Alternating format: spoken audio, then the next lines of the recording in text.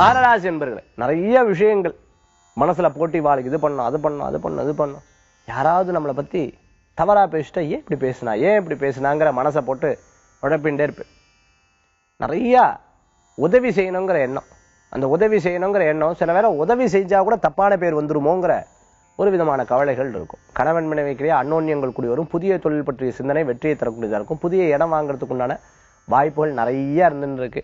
நிறைய பிராணிகளை வளர்க்கணும். வீட்டில் இருக்கக்கூடிய பிராணிகளை நல்லா கவனிச்சுக்கணும். அதுக்கு ஏதாவது உடம்பு சரியில்லைன்னா நீங்க உட்காந்து வருத்தப்பட்டு இருப்பேன் ஆக இந்த மாதிரி விஷயங்கள் நிறைய இருந்துட்டு இருக்கக்கூடியதாக இருந்துட்டு இருக்கும் சகோதர சகோதரிகளுடைய அன்னோன்யமான பேச்சுவார்த்தைகள் நிகழக்கூடியதா இருக்கும்.